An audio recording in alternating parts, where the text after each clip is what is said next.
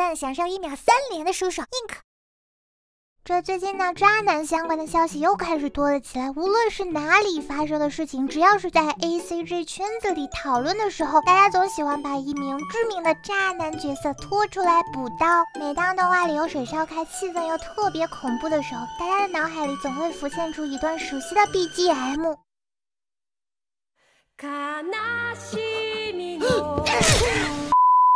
外里出现天台，就会有很多观众老爷表示，这是一位永远离开我们的前辈曾经战斗过的地方。没有错，他就是来自《School Dance》的伊藤诚诚哥。今天应可介绍的就是为诚哥配音的声优平川大辅。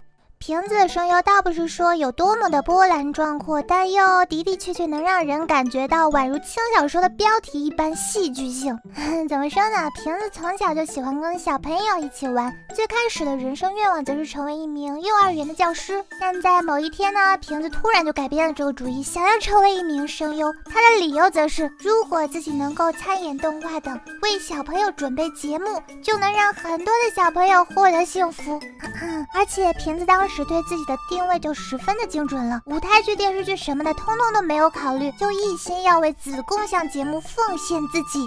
然而，在九七年正式出道之后，瓶子主要接到的都是海外电影的吹替工作，之后还成为了奥兰多·布鲁姆的专属配音员。直到零四年担任《岩窟王》的主意过后呢，为动画配音的工作才慢慢的开始多了起来。二零一四年，瓶子所属的事务所 Media Force 宣布破产，随后瓶子宣布自己将以个人的名一。展开工作，也就是所谓的自由身声优。刚才硬科我也说过了，瓶子是为了让更多的小朋友获得幸福，才决定成为一名声优的。但他参与的配音作品，其实是很多小朋友根本看不到的。似乎 Death 的成哥这种，都还只是小意思。瓶子可是实打实配过兄弟情，甚至黑暗界的作品的。如果真的用轻小说标题来概括一下的话，应该就是。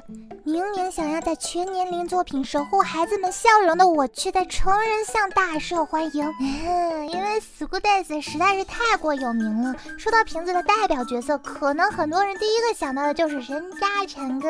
陈哥的渣男属性固然是人设和剧情的安排，但瓶子的配音对他的人渣程度起到了很大的加成啊。瓶子也很擅长配一些温柔的角色，这种温柔的声音也进一步加强了陈哥的人畜无害的伪装。但陈哥的声音。也不是单纯的温柔，毕竟他的骨子里还是个不负责任的人肉推土机嘛。比如在居然不是第七集，而是第五集的泳装会当中，一脸冷漠的乘客反而把他对肉体的欲望展现无疑。脚踏两条船的关系暴露之后呢，片子出色的演绎了乘客各种甩锅推卸责任的嘴脸。也因为片子过人的演绎，乘客最后被世界同学背刺的一幕才会如此的大快人心。ジョジョ、そのチェリー食べないのか？がっつくようだが僕の好物なんだくれないか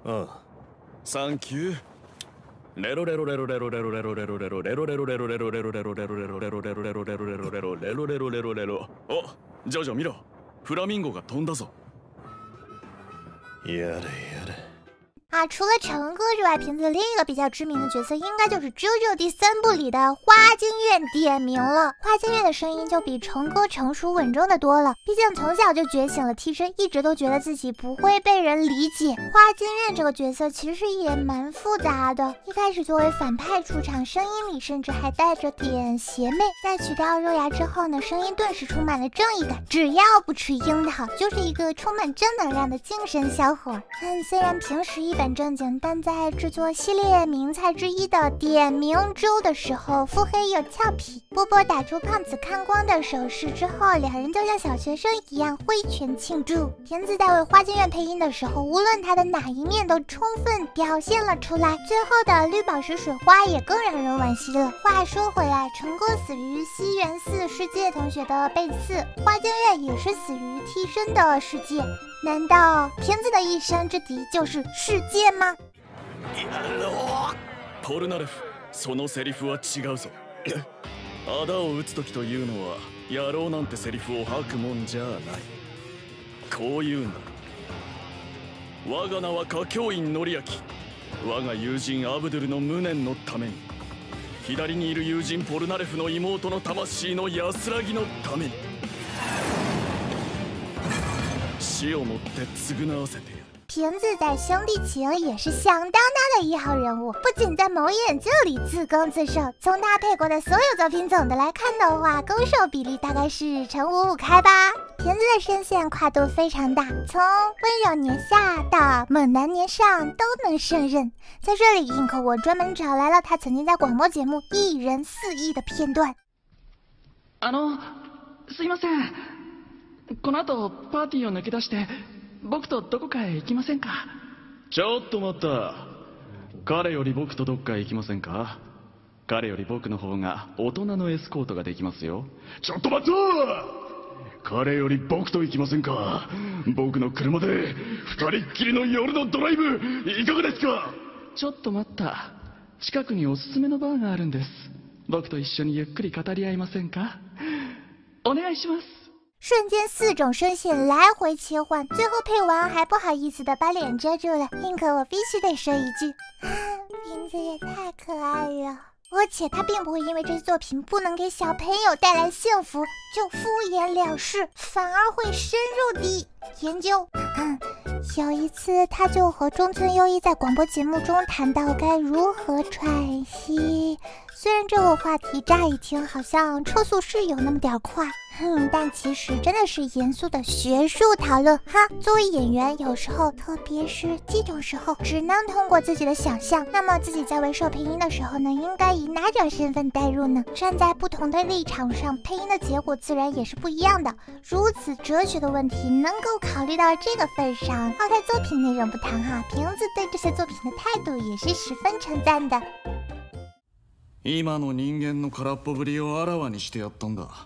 どんな奴らも死んでも生きててもどうでもいい奴らばっかりなんだ。あんただってそうだろ。生きてても死んでもどうでもいい。まあね。在二零二零年，我们依然能够看到瓶子的身影。在一月番《异度入侵》里，瓶子饰演了动画里首个被主角明嫖、化疗说死的杀人犯焰火师。而且还有两个国产 IP 作品也会有瓶子配音，一个是《烈与制作人》里的动画版的许墨，另一个则是终于开始官宣的《一人之下》第三季，瓶子将继续饰演诸葛青。除此之外，瓶子还会在今年给我们带来更多更多我们可以一起期待的作品。コートは友達なの？あ同じ中学で。って言っても少しの間でしたけど。あそうなんだ。うん。そうかそうか。なぜ田中先生が嬉しそう？つか寝癖激しいな。あいつあんなんだけど仲良くしてやってな 念には念を入れてるだけです。大丈夫か？最初からあんまり無理しなくても。心配いりません。この数日間で理論は完璧に抑えましたから。この前のような集体は晒しません。おおその気の使い方。もしかしてそいつ上官だな。ならばいざ尋常に。俺と勝負しろ。千本桜。他の大社にこそこそと不法侵入するとは随分と卑屈なことだな。何を？よせ蛇の千本桜。お主こそここで何をしておるのじゃ？主に刀銃を届けるように言われてな。なんだ？オイラたちと同じか今日はここには誰もおらんようじゃのう。うん。どうやら全員で遠征実験に出かけているようだ。偽善しゃぶるなよ。見たくない現実から目をそらしていた君だって共犯だろ。一体どこからどこまでがお前の策略なんだ。答えろ。4年前の失敗を繰り返さないため。そして君を失わないで勝利するための最善の策だよ。そのために冬ホタルにも一役買ってもらったってわけだ。如果你喜欢这个视频，记得推荐、收藏、关注一条龙，支持一下印子娘，尤其是特别关注。